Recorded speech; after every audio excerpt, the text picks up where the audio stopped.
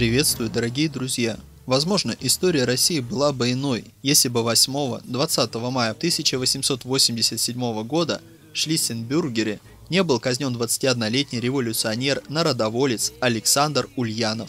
Говорят, революция и свержение царизма стали местью Ленина за смерть старшего брата. Александр Ильич Ульянов родился 31 марта 12 апреля 1866 года в семье педагога и статского советника Ильи Николаевича Ульянова и Марии Александровны Ульяновой, урожденной Бланк. Саша рос серьезным и вдумчивым мальчиком. Будучи старшеклассником Симбирской классической гимназии, он увлекся естественными дисциплинами, особенно химией. Даже оборудовал в доме небольшую лабораторию, где проводил опыты – 1883 году, окончив гимназию золотой медалью, Александр поступил на естественное отделение физико-математического факультета Санкт-Петербургского университета, где активно занимался научной работой. В то время в студенческой среде были в большой моде революционные настроения.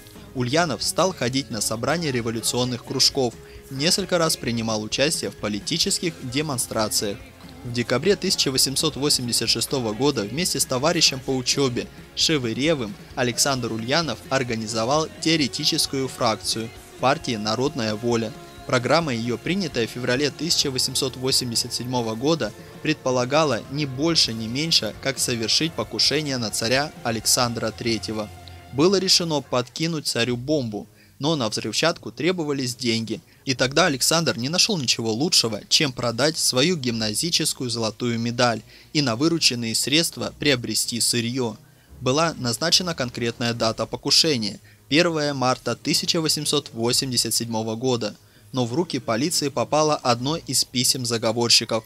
15 членов фракции подверглись аресту, в их числе оказался и Ульянов, который был одним из организаторов. Главных заговорщиков заключили в Петропавловскую крепость. В апреле 1887 года Ульянова и его товарищей Шевырева, Андреюшкина, Генералова и Осипанова приговорили к смертной казни через повешение. Рядовые участники фракции были осуждены на каторгу и ссылку.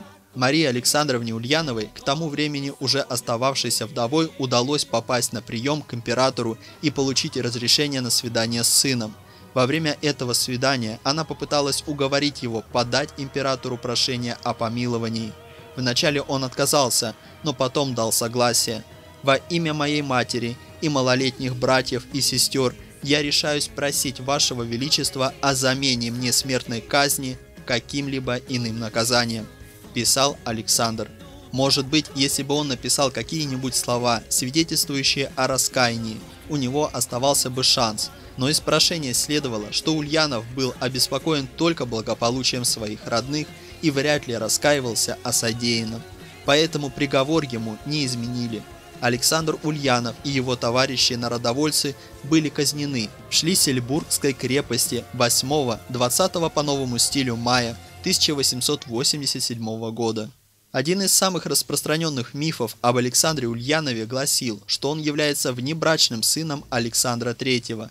Якобы в молодости Мария Бланк служила фрейлиной при императорском дворе и обратила на себя внимание великого князя. Имя старшему сыну она дала в честь настоящего отца. Когда же он вырос, Мария рассказала, кто его родной отец – и тот так сильно обиделся на родителя за поруганную материнскую честь, что решил убить. Между тем, Мария Александровна вряд ли вообще когда-нибудь встречалась с императором, который к тому же был моложе ее десятью годами. Да и первенцем в семье Ульяновых был не Александр, а дочь Анна, родившаяся в 1864 году.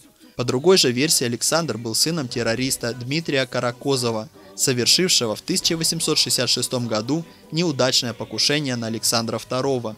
Но опять же, нет доказательств, что Каракозов хоть раз встречался с Марией Ульяновой. Все, что было общего между Каракозовым и Ульяновым, это попытка цареубийства и казнь за нее. С момента казни Александра Владимир Ульянов видел для себя только один путь – довершить дело брата. Однако, как гласит легенда, он произнес слова «Мы пойдем другим путем». Если народовольцы считали, что изменить ситуацию в России к лучшему может убийство императора, то Ленин прекрасно понимал, что на смену одному монарху придет другой, и что менять надо сам существующий строй.